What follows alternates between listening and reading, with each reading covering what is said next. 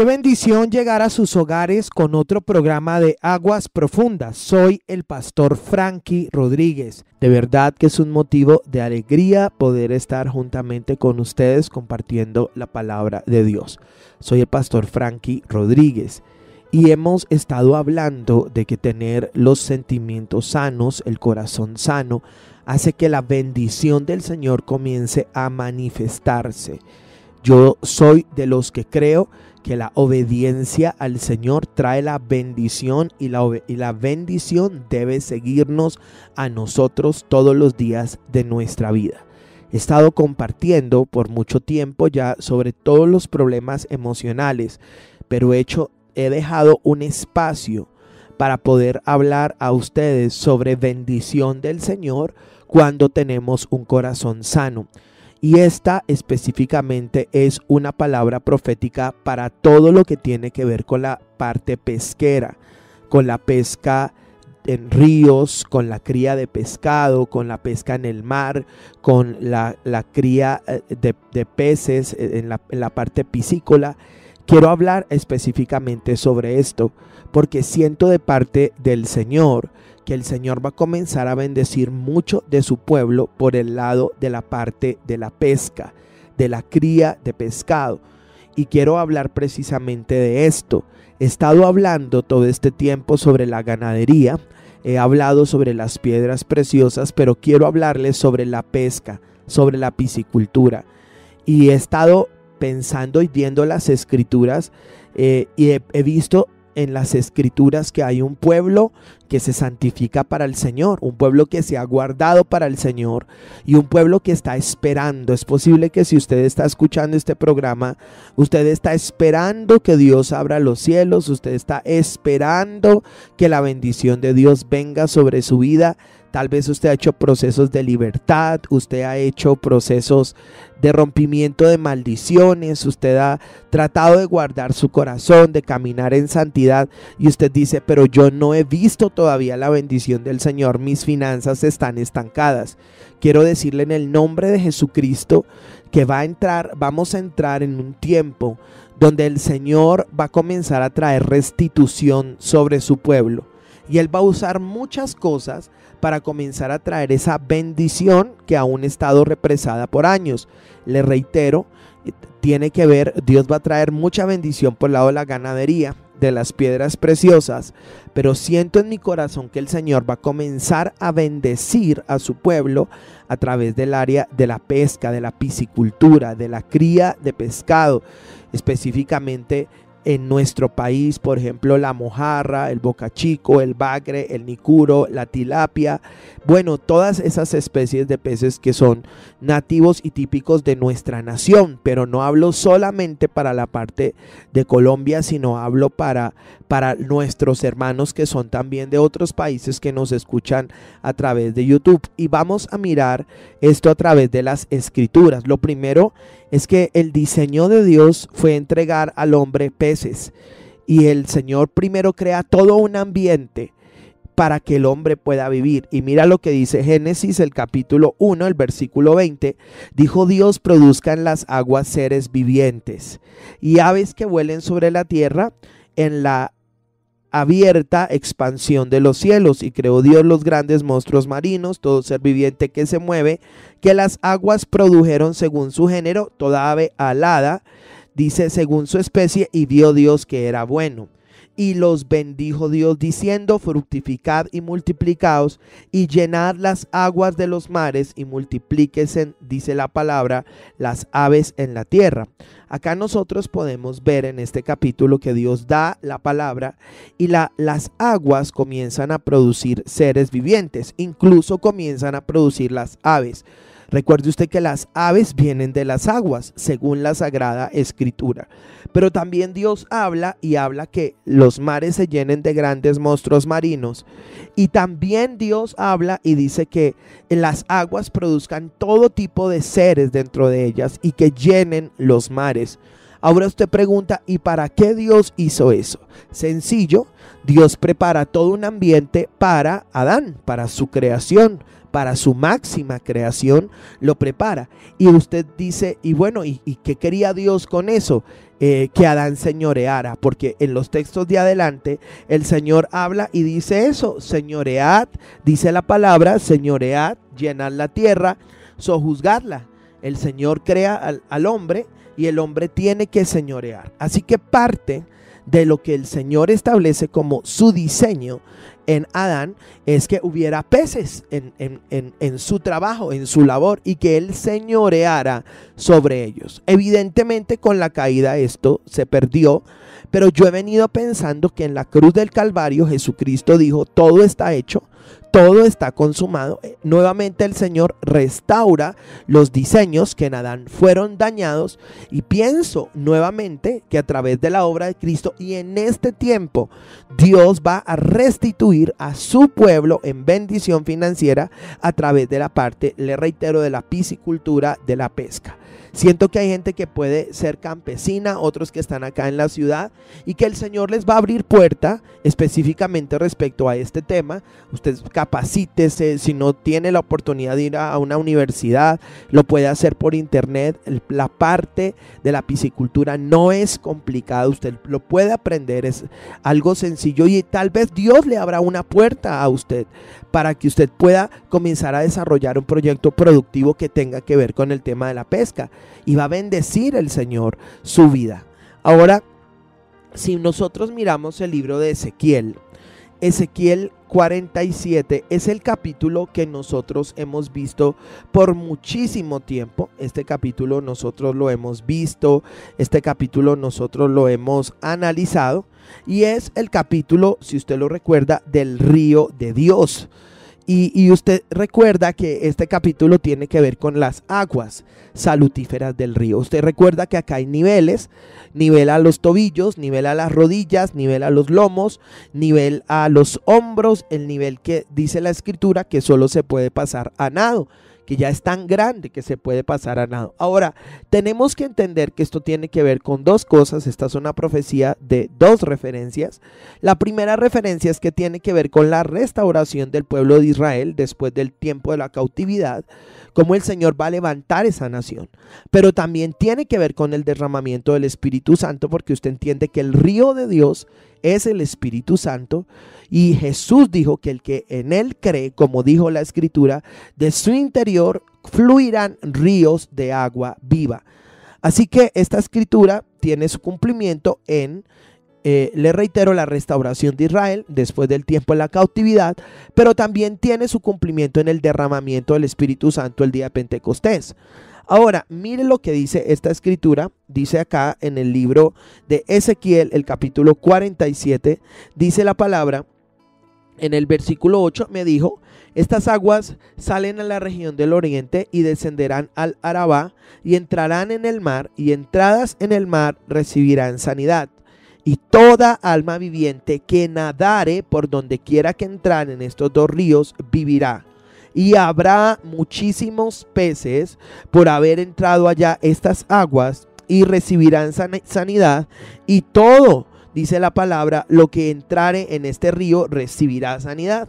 Junto a él estarán los pescadores y desde Engadi hasta Englaín será su tendedero de redes y por sus especies serán los peces tan numerosos, dice la escritura, como en el mar grande. Entonces, una vez más, yo puedo ver acá una palabra profética que, tiene que ver con el pueblo del Señor, con la bendición de Dios en el pueblo de Dios. Le reitero que si camino, caminamos con el Señor y obedecemos su palabra, la escritura dice, estamos alineados con el cielo, sencillo, la bendición de Dios tiene que comenzar a manifestarse. Y acá nosotros vemos que este río dice que trae demasiados peces, muchísimos peces, hay muchísimos pescadores y los peces son diversos y numerosos. Ahora, déjeme hablarle un poquito de esto. Yo entiendo que la iglesia cristiana aplica este texto hacia personas, ¿no? Que donde se derrama el Espíritu Santo, ahí comienza a llegar mucha gente y dice, la, decimos, de, yo le he predicado, y entonces vienen peces de todas las clases, de las especies, eh, de, todo tipo de clase social, de países, bueno, y está bien, no hay ningún problema en aplicarlo de esa manera, pero esta restauración o lo que vemos acá literalmente en ese capítulo no está hablando de personas, sino está hablando de un evento físico donde muchísimos peces van a venir por esos ríos y, van a traer muchísima bendición a pescadores. Y es posible que me están escuchando en, los campos, es posible que aún acá en Tierra Fría me están escuchando, por ejemplo, hacia la parte de, los páramos, hacia la parte de Usme, eh, se, cría la trucha. Es posible que me puedan estar escuchando personas en la parte de la costa. Y usted puede orar al Señor porque está en la escritura y no está, usted no está torciendo la escritura. Usted puede orar al Señor que la bendición del Señor se comience a manifestar a través de la parte pesquera. Y siento en mi corazón por muchísimo tiempo muchas compañías, aún en los mares, compañías de personas que no son temerosas de Dios, han explotado esta parte que está, eh, que tiene que ver con la pesca, la piscicultura, la han explotado y han hecho definitivamente riqueza a través de esta parte. Y es gente que no es conocedora del Señor. Pero creo firmemente que esta palabra profética debe tener su cumplimiento en el pueblo de Dios. Así que creo que esta será una manera como el Señor va a comenzar a traspasar riqueza a su pueblo y tiene que ver con pozos de pescado, tiene que ver con pesca en mar, tiene que ver con pesca en lanchas, tiene que ver con pesca en buques, tiene que ver con crianza de peces, tiene que ver con crianza de camarón, tiene que ver con crianza de todo tipo, acá habla de todo tipo de peces. Y yo soy de los que creo. La escritura es clara y dice eh, el Salmo 1, dice, bienaventurado el varón que no anduvo en consejo de malos, ni estuvo en camino de pecadores, ni en silla de escarnecedores se ha sentado, sino que en la ley de Jehová está su delicia y en su ley medita de día y de noche. Será como árbol plantado junto a corrientes de aguas que da su fruto en su tiempo y su hoja no cae. Y mire lo que dice, y todo lo que hace prosperará. Ahí sabemos quién es bendecido, quién tiene la bendición del Señor porque definitivamente donde pone su mano no se seca, sino todo lo que hace prospera. Si usted coloca su mano sobre algo y eso se seca y emprende un negocio y otra cosa y eso se viene al piso, algo tiene que estar mal con usted porque la Biblia dice, y todo lo que hace prosperará.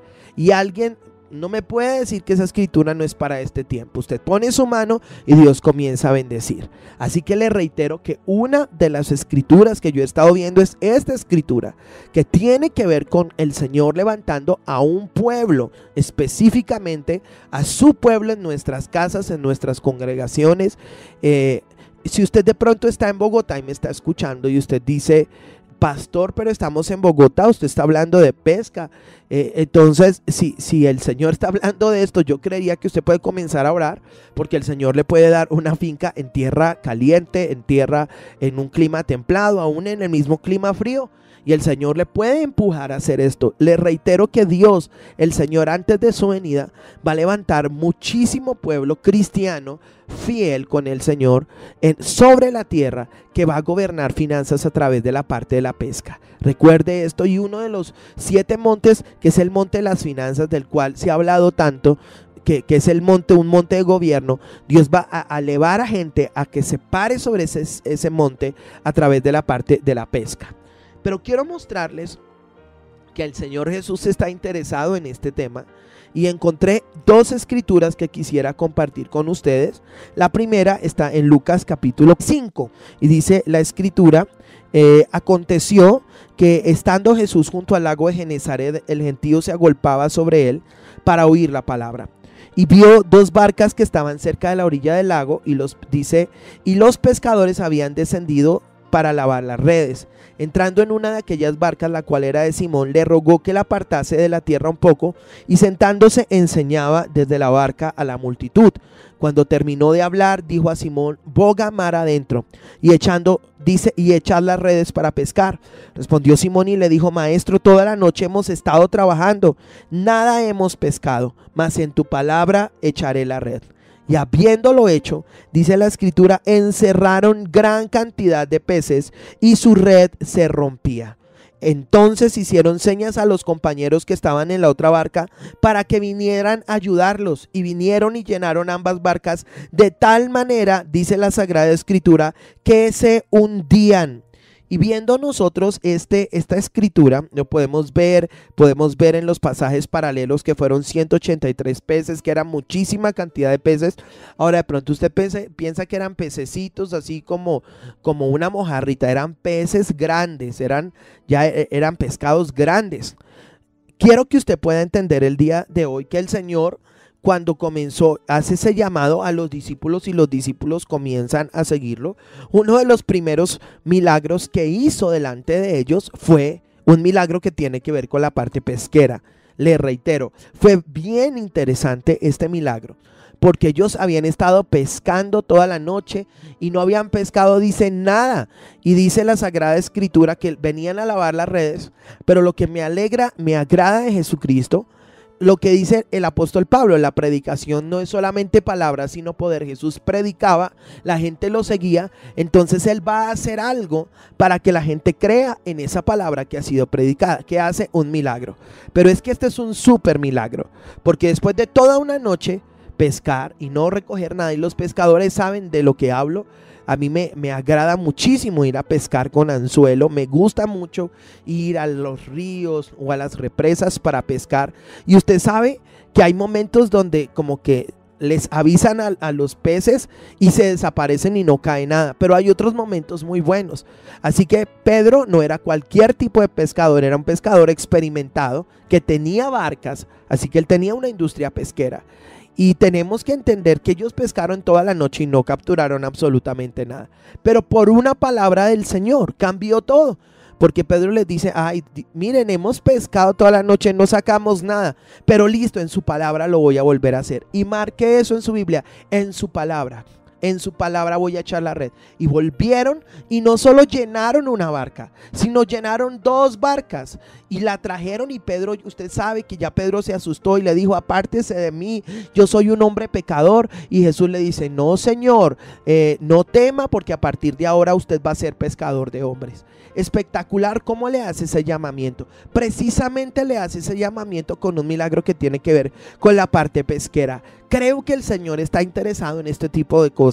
A veces nosotros no lo vemos, pero creo que el Señor está interesado y les hablaría a ustedes, tomen cursos por internet, capacítense, eso no tiene eso no tiene ningún costo. Usted va a aprender a hacerlo. Usted cómo sabe que en algún momento Dios no le vaya a abrir una puerta para que la parte de la pesca comience a manifestarse en su vida. Habrá los que dicen, yo no creo, yo cuestiono eso. Y habrán otros que, como siempre, toman la palabra y dicen, no, yo lo voy a hacer. En algún momento Dios puede abrir esa puerta y traer bendición sobre mi vida. Y quiero cerrar definitivamente con el libro de Juan capítulo 21. Porque usted recuerda que Jesucristo resucitó. De hecho, hasta usted recuerda que Jesús resucitó y restauró a Pedro asándole pescado. Usted lo va a recordar y acá en esto yo tengo varias prédicas de restauración a personas que han caído en, en, pecado o han fallado y aún yo les hablo de cambiarles la alimentación. Por alguna razón el Señor Jesús le tenía pescado, no solamente pues por aquello de ven que te voy a hacer pescador de hombres o por el oficio anterior que hubiera, sino porque definitivamente hay ciertas comidas que afectan más el cuerpo y el, y el espíritu de los seres humanos que otras. Es, es así. Recuerde que el pecado entró por una comida. Pero Juan capítulo 21, Jesús, el resucitado, se les aparece. Mire lo que dice. Simón Pedro les dijo, voy a pescar. Ellos le dijeron, vamos nosotros también contigo. Fueron y entraron en una barca y aquella noche no pescaron nada. Cuando ya había amanecido se sentó Jesús en la playa, mas los discípulos no sabían que era Jesús. Y les dijo, eh, hijitos, ¿tenéis algo de comer? Le respondieron, no. Él les dijo, echad las redes a la derecha de la barca y hallaréis. Entonces la echaron y ya no se podían sacar por la cantidad de peces. Entonces aquel discípulo a quien Jesús amaba dijo a Pedro, es el Señor, o sea Juan. Simón Pedro cuando oyó que era el Señor se ceñó la ropa porque se había despojado de, ella y se echó al mar. Y los otros discípulos vinieron con la barca arrastrando la red llena de peces, pues dicen no distaban de tierra sino como 200 codos. Dice la escritura, al descender a tierra vieron brasas puestas y un pez dice encima de ellas y pan. Jesús les dijo, traed los peces que acabáis de, que acabáis de pescar. Subió Simón Pedro y sacó la red a tierra llena de grandes peces, 153. Dice, y aún siendo tantos, la red no se rompía. Jesús les dijo, venid, comed. Ninguno de los discípulos se atrevía a preguntarle, ¿tú quién eres? sabiendo que era el Señor. Vino pues Jesús y tomó el pan y les dio, y asimismo del pescado. Esta era la tercera vez que Jesús se manifestaba a sus discípulos después de haber resucitado de los muertos. Es un milagro de restauración. Usted sabe cómo estaban los discípulos y se encuentra con, con ellos. Él está ahí y, y ellos han trabajado pescando, no han sacado absolutamente nada y él les da la palabra y les dice, hijitos, como los llamaba anteriormente, echen la red al lado derecho. Y la echan y sacan todo eso y Juan, Juan lo reconoció. Juan supo quién era él. Dice, es el Señor. Y Pedro sale corriendo y traen esa red tan llena de peces. Estamos hablando de, estaban a 200 codos, a menos de 100 metros. Y, llegan con todos los peces y él tenía un pescado eh, grande, yo creo, asado y listo para que ellos pudieran comer. Y, dice, partió el pan y les dio de comer. Y esa era la tercera vez que se manifestaba. Y comenzó a traer restauración después de, de su muerte. Comenzó a traer restauración otra vez con la parte pesquera. Creo en el nombre del Señor que esto va a comenzar a cumplirse en medio de su pueblo, así que anímese y estudie, estudie este tema. Quiero que juntos podamos orar por esta situación. Señor, te doy gracias, Padre, por las ideas de reino que tú estás trayendo a tu pueblo en este tiempo. Te doy gracias porque tú estás cumpliendo tu palabra sobre la tierra. Tu palabra corre velozmente para cumplirse. Señor, gracias. En el nombre de Jesús yo quiero orar Quiero bendecir a los amados campesinos colombianos y de otros países. Quiero bendecir, Señor, a la gente que está hacia las costas colombianas y en otros lugares, Señor, en otros países costeros. Y yo quiero bendecirlos y quiero desatar en el nombre de Jesús esa palabra, soltar esa palabra sobre ellos. Y quiero decretar en el nombre de Jesús que aun cuando la tierra esté en crisis y la gente diga que los mares, que los peces se están acabando, Padre Señor, solo por el el sonido de tu voz los peces tienen que obedecer y los llamamos a los mares, los llamamos al campo, Señor, en el nombre de Jesús, por tu palabra, como fueron creados por tu palabra, por tu palabra, Señor, se manifiesten, Señor, en el nombre de Cristo Jesús. Y yo oro que comiences a tocar el corazón de gente para capacitarse y los que ya saben de esto por muchos años, Señor, que comiencen a creer esta palabra, Señor, y en el nombre de Jesús hablamos abundancia de peces, abundancia de pescado, Señor Dios, abundancia en el nombre de Jesús y bendición financiera y restitución del cielo sobre el pueblo en el nombre de Jesús que ha estado esperando sobre mis hermanos en los campos, en las costas, que han estado esperando bendición, Señor, que aún las cosas han estado apretadas económico para ellos, pero tú, Señor, estás hablando esta Señor. Gracias porque sé que conforme ha sido predicada el día de hoy, así será hecha. En Cristo Jesús hemos orado. Amén.